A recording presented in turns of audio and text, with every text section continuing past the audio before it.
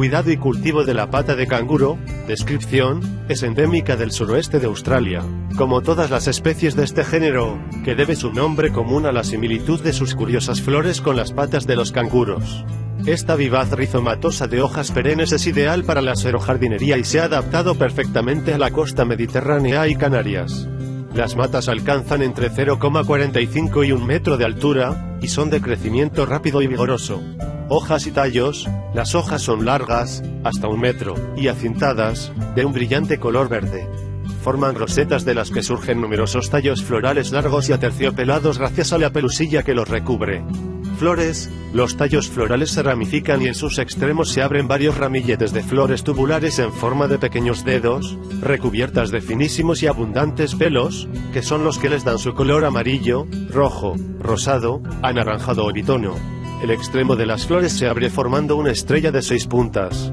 Son nectaríferas, los pájaros son sus polinizadores naturales, aunque sin perfume.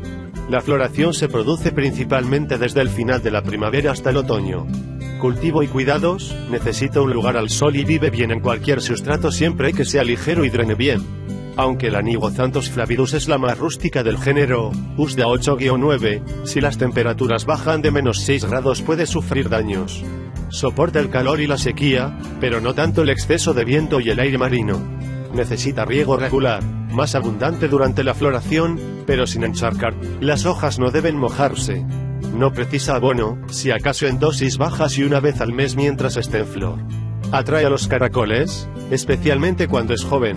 Se reproduce por semillas, se recogen al final del verano y se siembran al empezar la primavera, o por división del rizoma en otoño. De interés, estas plantas producen un bello efecto si se usan en grupo en los jardines. También viven bien en macetas y jardineras.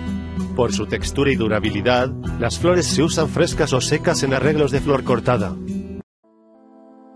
Si te gustó este video dale like, suscríbete y clipa la campanita para que reciba más videos como este.